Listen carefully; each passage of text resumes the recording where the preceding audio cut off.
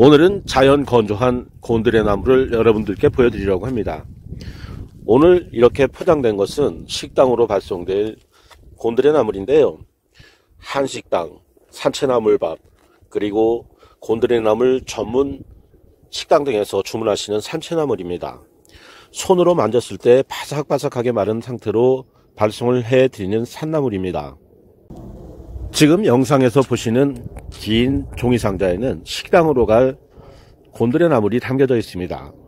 중량은 4kg입니다.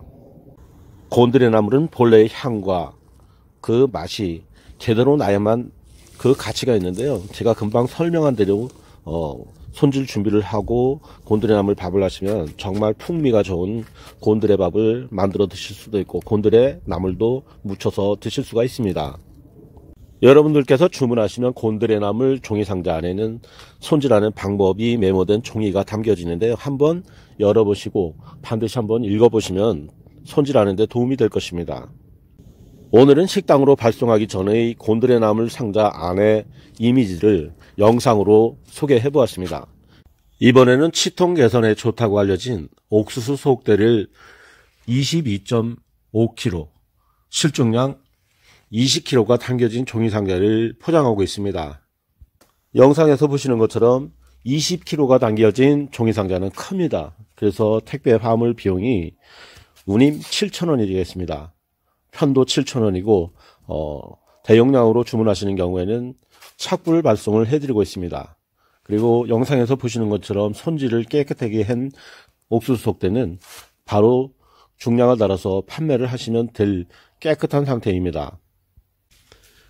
오늘 이렇게 포장을 해서 발송해 드리는 옥수수 포장 상자 안에는 이가 아플 때 쓰는 민간 요법이라는 설명서가 들어 있습니다. 처음 사용하시는 분들은 반드시 이 부분을 한번 읽어보시고 손질을 하신 후 속대차를 끓여서 드시거나 각을 하시면 되겠습니다. 이어서 보시는 것은 한 상자에 20kg씩 옥수수 속대가 손질이 돼서 두 상자, 그러니까 40kg가 발송 준비를 하고 있는 모습을 영상으로 담고 있습니다.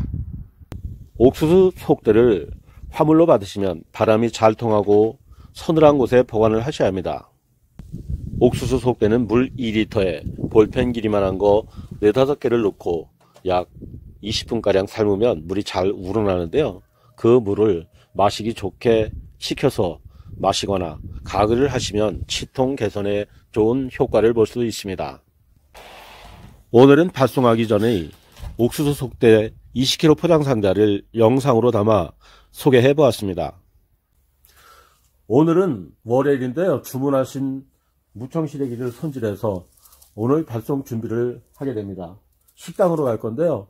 10kg 포장을 하고 또 가정용으로 주문하신 것은 1kg 포장을 해서 오늘 발송을 할 생각을 하고 있습니다. 지금은 오늘 발송할 무청시래기를 이렇게 손질하고 있는데요. 식당으로 갈 겁니다. 광주에서 추어탕을 하시는 식당으로 보내드릴 건데 한 상자에 10kg를 포장해서 오늘 보내드려야 합니다.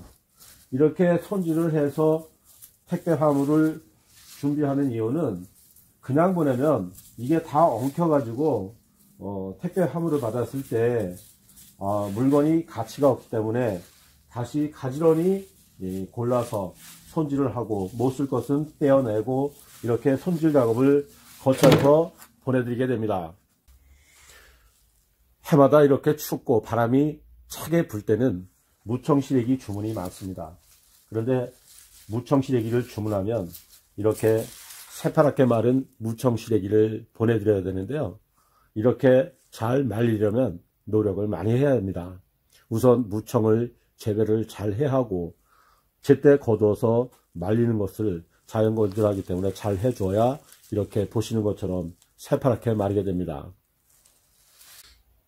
이어서 보시는 것은 식당으로 보낼 무청 시래기를 종이상자에 담은 모습인데요. 전자저울로 달아보니까 12.23이다. 그러니까 박스 무게를 제어하면 정량이 10kg입니다.